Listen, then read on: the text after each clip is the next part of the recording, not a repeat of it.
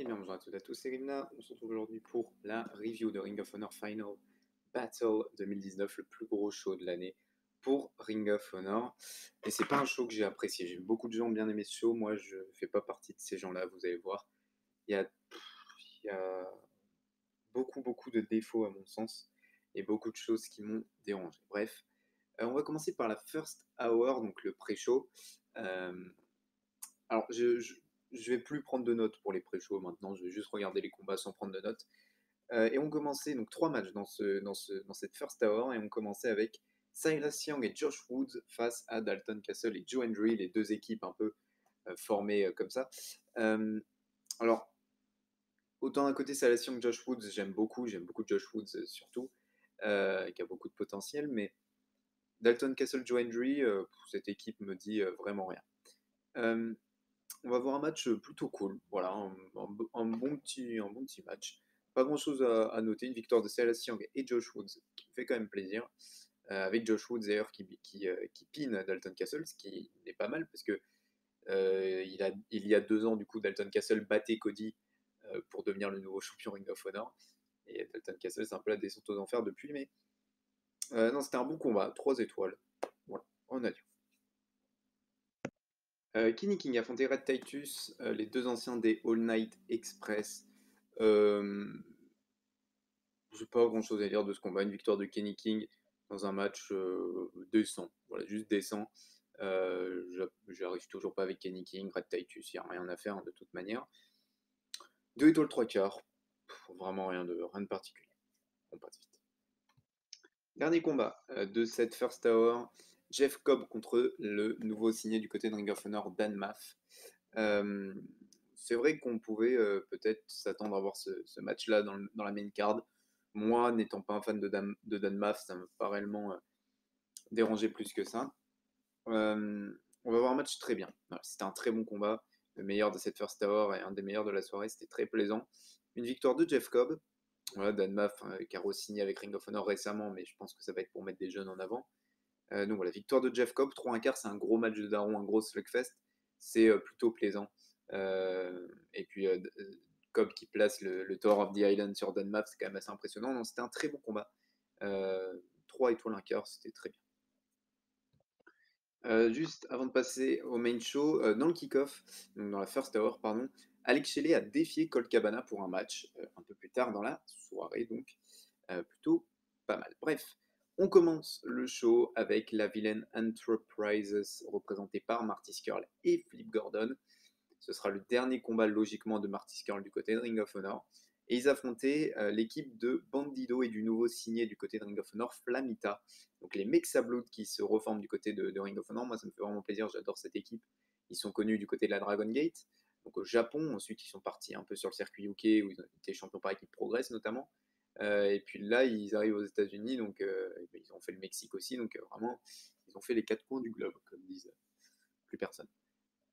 Donc non, vraiment, je trouve que Flamita, c'est une superbe, une superbe recrue. Voilà, c'est un excellent catcher, hein, Flamita.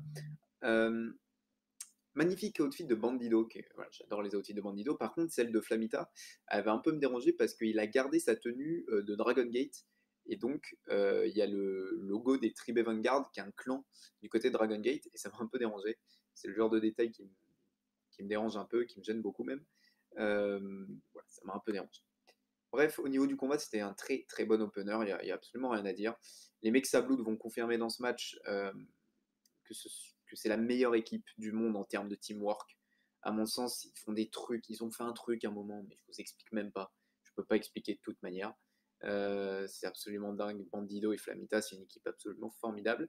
On va avoir une domination des Mexablood. Euh, ça a été un bon spot fest, mais malheureusement, le public n'est pas assez dedans. Et, euh, ça va être un peu tout d'ailleurs du show, le public ne va pas être dedans et du coup ça va, je trouve, un peu baisser la qualité. Il y a un match dans lequel le public va vraiment être investi, c'est un match, je ne m'attendais pas du tout à ce, que, le public soit dedans autant que ça, mais bon. Donc ouais, déçu par le public, parce que si le public était dedans, ça aurait pu être vraiment un meilleur combat. Euh, voilà, j'ai mis 3,5, 3, 3 quarts, je suis resté sur 3, 3 quarts, je vous recommande ce combat, victoire des Mexablood, euh, Bandido qui pine Marty Skrull quand même à noter. Euh, donc logiquement, ça devrait être le dernier combat de Marty Skrull. Ce qui me chagrine un peu, c'est que euh, la Prizes sont toujours champions Six-Man Tag.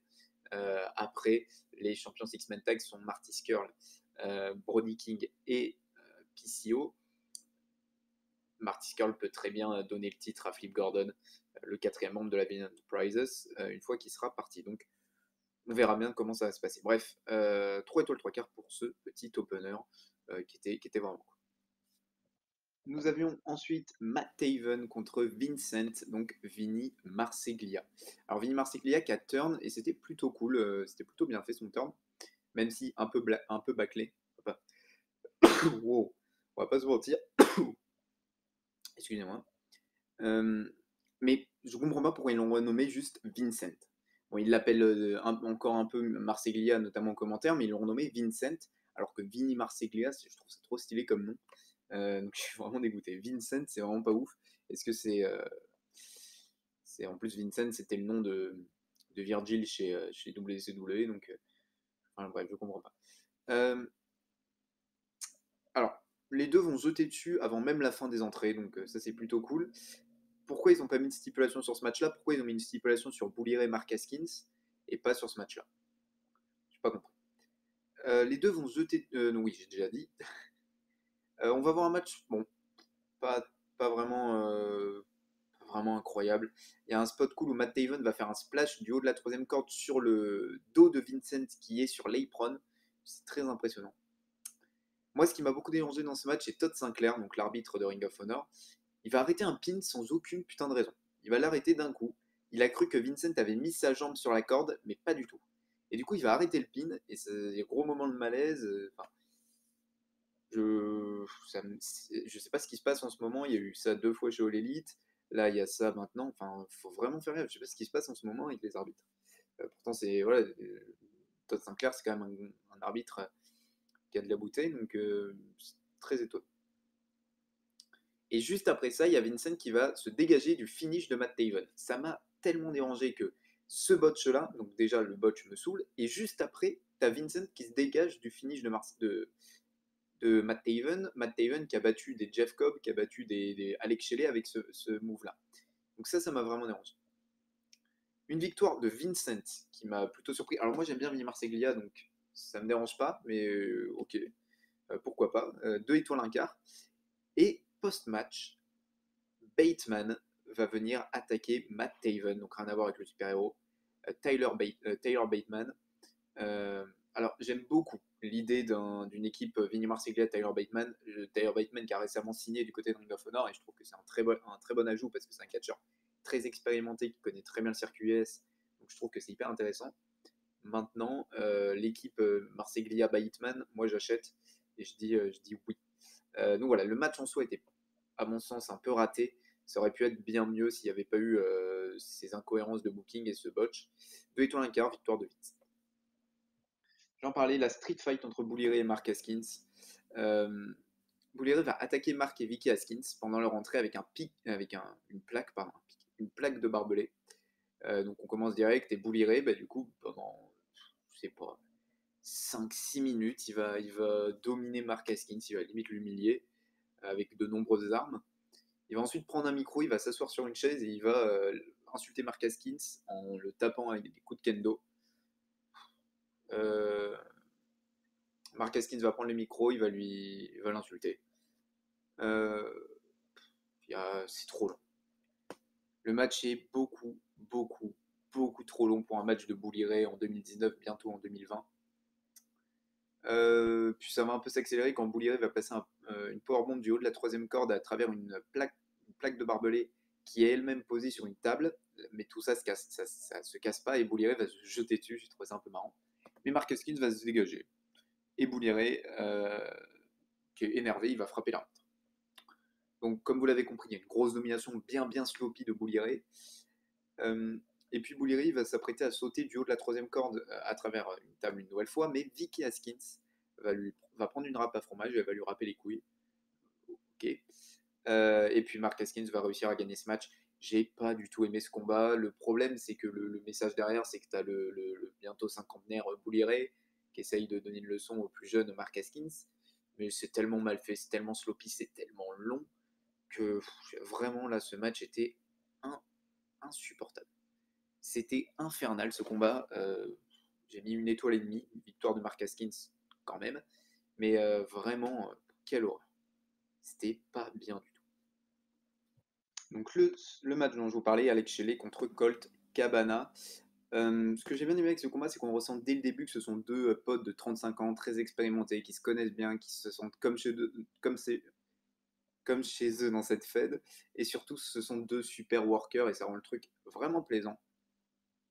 Alors, en fait, le match commençait euh, bien, un peu de grand work au début, et puis après ils vont se relever, ça va un peu partir. Mais Alex Shelley va contrer le Superman Pin et remporter comme ça. J'ai trouvé la manière très anticlimatique, mais d'un côté, quand tu réfléchis, je trouve ça extrêmement légitime par rapport à ce qui, par rapport à ce qui se passait jusque-là dans le match. Euh, quand tu réfléchis un peu, c'est vrai que ça peut se comprendre, mais c'est vrai que la manière était un peu abrupte. Euh, donc bon, mais vu comment ils racontaient leur histoire depuis le début de combat, ça aurait, c'était legit. J'aurais quand même préféré 6-7 minutes et que ça se termine aussi comme ça. Voilà, la durée du match, quant à elle, euh, je trouve, euh, ne rendait pas le truc illégitime si ça durait un peu plus de temps. C'est ça que j'ai trouvé un peu dommage, la durée du match. Après, c'était plutôt cool, victoire d'Alex Shelley, 2 étoiles 3 quarts. Si c'était plus long, j'aurais mis 3 1 quart, je pense.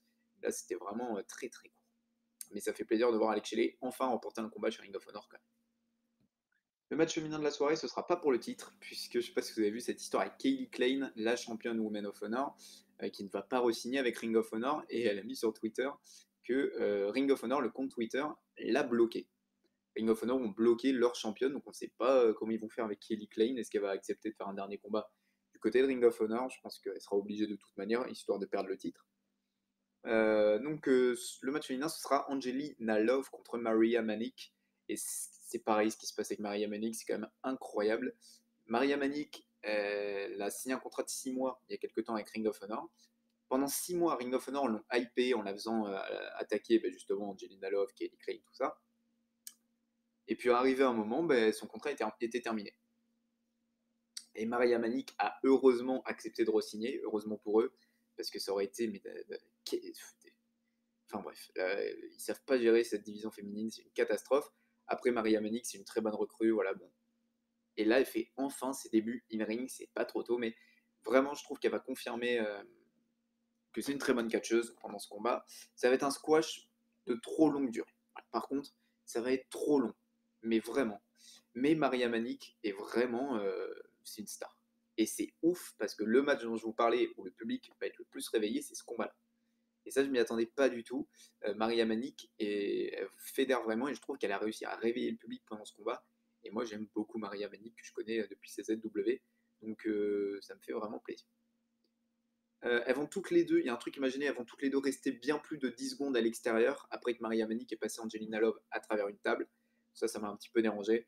Mais l'arbitre, il va compter que jusqu'à 8, alors que ça fait bien 20 secondes. ça m'a un peu dérangé. Bref, euh, une victoire de Maria Manik, c'était un squash de longue durée, c'est tout, parce que Angelina Love n'a même pas porté un seul coup. Donc j'ai pas noté le match, même s'il a duré 5 minutes, euh, ça reste un squash euh, de trop longue durée, mais Angelina Love n'a même pas donné un seul coup. Donc voilà, c'était trop long, mais au moins ça a un peu réveillé le public. Maria Manik, je trouve, elle a vraiment un truc. Et c'est vrai qu'elle est, c'est dommage qu'elle soit dans cette division féminine de Ring of Honor qui est catastrophique, parce que j'aurais bien aimé la voir dans une autre division féminine. Voilà, donc victoire de Maria Manik. Je n'ai pas noté ce combat. Shane Taylor défendait son titre de la télévision face à Dragon Lee. Dragon Lee a d'ailleurs euh, fait son retour du côté de Ring of Honor dans une vidéo euh, lors de la finale de la World Tag League euh, où il défiait Jushin Thunder Liger en disant notamment que son nouveau nom c'était Ryu Lee. donc voilà, par contre, Ring of Honor, il a gardé le nom Dragon Lee. Ok. alors, j'ai trouvé ce combat très cool. Voilà, je ne suis pas du tout fan de Shane Taylor honnêtement, mais Dragoli est tellement un bon worker que bah, forcément, dès qu'il fait quelque chose, c'est un bon combat. Le travail de Dragoli est très intéressant, contrairement à celui de Shane Taylor, avec lequel je n'arrive toujours pas, comme je vous disais. Le travail de Shane Taylor dans ce match, je l'ai vraiment pas trouvé bon. Euh, et je n'arrive toujours pas avec lui. Dragoli va se dégager du package driver de Shane Taylor une première fois, puis quelques minutes après, une deuxième fois. quand même, Dragoli, là, il part bien, bien fort. Shane Taylor va vouloir utiliser une chaîne métallique, mais Dragoli réussit à placer un Cannon Destroyer sur Shane Taylor un Canadian Destroyer sur Shane Taylor. Incroyable, vraiment. incompréhensible, Dragon Lee. et donc Dragon Lee va placer cette chaîne métallique sur son genou, dans le dos de l'arbitre, puis il va placer un coup de genou, mais Shane Taylor va se dégager à 1. Alors qu'il se dégage, ok, mais à 1, frérot, Taylor quand même. Mais je pense que c'était pas voulu parce qu'ils ont voulu faire une fall, mais je pense que Shane Taylor, il, a dû, il a dû bugger. et Dragon Lee va finir par remporter ce combat et devenir le nouveau champion de la télévision. 3 étoiles, 3 quarts. c'était, c'était plutôt, plutôt cool. après, est-ce que Shane Taylor pourra un jour faire un plus de 3, 3 quarts 4 Je sais pas. ça reste vraiment un catcheur assez, assez médiocre, mais, mais ça fait plaisir de voir Dragon Lee champion de la télé. Et donc là, on se retrouve avec Dragon Lee champion télé et Rouge, son frère, champion Ring of Honor, même s'il défend le titre face à PCO dans le main event. Mais euh, non, très bien. C'était un, très bon combat, victoire de Dragon Lee, qui fait vraiment plaisir.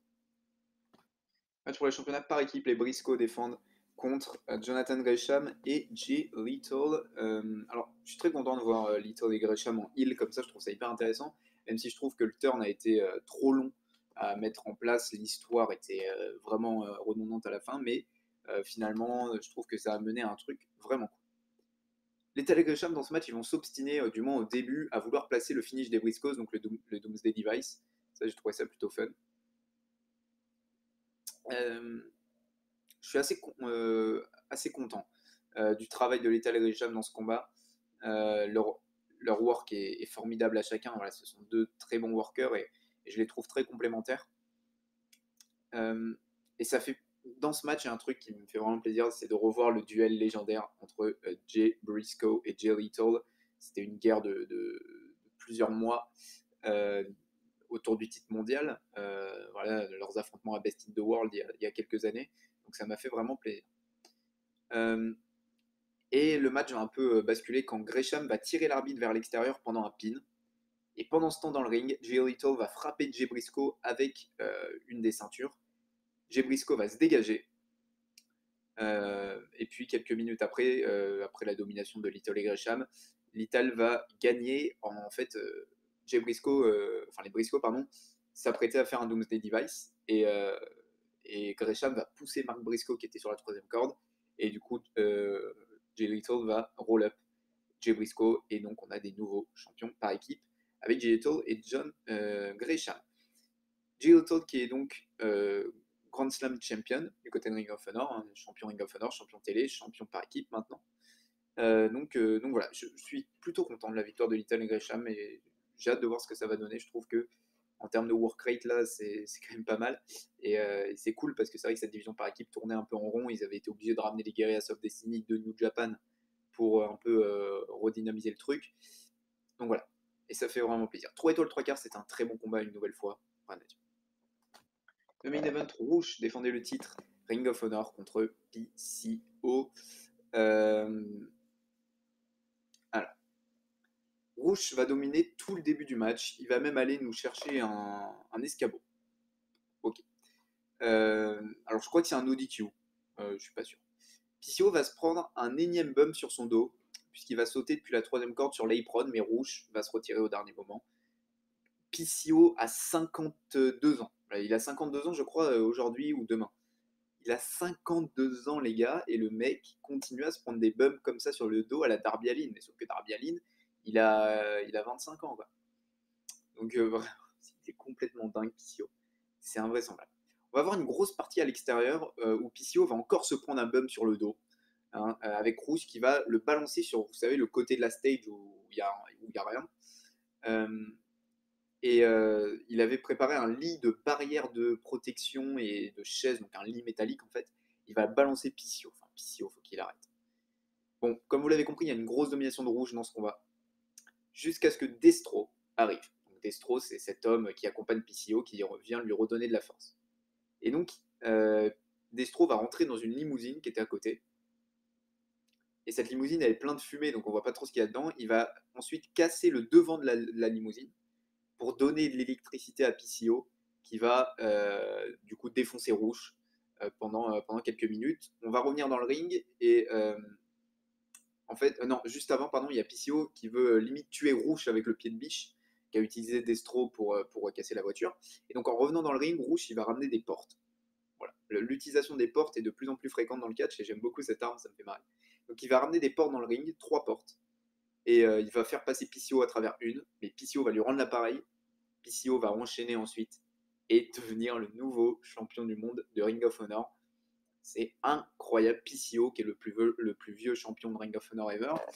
Euh, c'est assez dingue de voir un mec de 52 ans devenir champion du monde dans une, des fédérations les plus importantes euh, du monde, top, top 10, euh, voire top 5.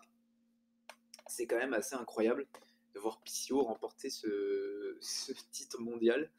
en plus, ce qui m'étonne un peu, c'est que PCO, je crois, son contrat se terminait bientôt, mais je pense qu'il va signer avec Ring of Honor.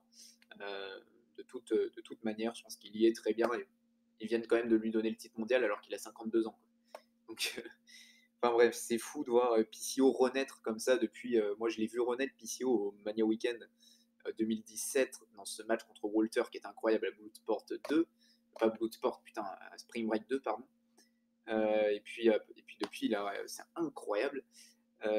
c'est fou l'histoire du PCO. Je trouve que c'est vraiment une belle histoire et ils ont eu les coronesses de lui donner le titre. Ça me fait un peu chier pour Rouge parce que du coup son règne aura duré très peu de temps.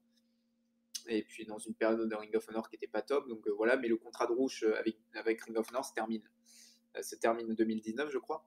Donc, donc à voir ce que va faire Rouge maintenant, ce qu'il va re-signer. Sachant que son frère, sachant qu'ils ont donné le titre télé à son frère, donc, donc voilà. Et moi, j'aimerais bien le voir débarquer du côté de, New Japan, quand même, parce que Rouge, il y a beaucoup d'affrontements à faire. Il pourrait même rejoindre les Ingobernables de, de Naito. Voilà, parce que Rouge, c'est le leader des Ingobernables chez CMLL, sauf que bon, il y a eu toute cette histoire avec CMLL, donc, euh, voilà. Mais, euh, mais ouais, le voir rejoindre les Ingobernables du Japon, euh, ça me ferait vraiment kiffer. donc ouais, je je sais pas comment ça va se passer avec Rouge du coup, qui est un peu dans la merde du coup avec ce, ce truc avec CMLL. Mais, mais ouais, je, j'ai hâte de voir ce qu'il va faire. Euh, peut-être Wrestling. All Elite Wrestling sont intéressés. NXT sont intéressés. Enfin, WWE sont intéressés. Sauf que Andrade, qui est euh, le meilleur ami de Rouge, lui a dit de ne pas y aller. Voilà, donc Andrade ne, veut pas que Rouge y aille. c'est un peu un bordel. Rouge a beaucoup de propositions et on va voir ce qu'il va faire en 2019. En 2020, pardon. Mais, euh, mais voilà, donc PCO est le nouveau champion du monde. et donc là, on a trois changements de titres. les trois titres majeurs de Ring of Honor. Parce que bon, le titre Six Tag et le titre féminin euh, donc voilà, les trois titres mondiaux, les, trois, titres les plus importants qui ont changé de main. Il y a Matt Taven qui a dit dans une interview récemment que il fallait vraiment s'intéresser à ce qu'allait faire Ring of Honor en 2020. S'ils pouvaient refaire des tapings normaux et arrêter de diffuser, donc là il y a Fallout, je crois c'est ce soir, Final Battle Fallout, en fait, qui vont diffuser, et ensuite ils vont rediffuser en taping. Mais les tapings, ça se diffuse pas. Alors tu, tu diffuses pas les tapings et tu diffuses petit à petit eux, ils font peu. Enfin, déjà, arrêtez de faire ça et moi, je pourrais reprendre de l'intérêt peut-être en Ring of Honor. C'est tout ce que je demande. Et voilà, bon. Nouvelle ère, du coup, chez Ring of Honor avec ces trois changements de titre. On verra. Voilà en tout cas pour la review de Final Battle. On va se retrouver demain pour la review d'Into the Fire. Je rappelle, lundi, pour la, lundi ou mardi pour la review de TLC. Et le bilan de 2019 qui arrive milieu de semaine prochaine également avec tout le Grand Bass Club. On a voté pour nos prix, nos meilleurs catcheurs de l'année, etc. Vous verrez tout ça. En tout cas, j'espère que cette vidéo vous aura plu. Si le cas, n'hésitez pas à laisser un like, à commenter, à vous abonner. Moi, je vous dis à la prochaine vidéo. Bye tout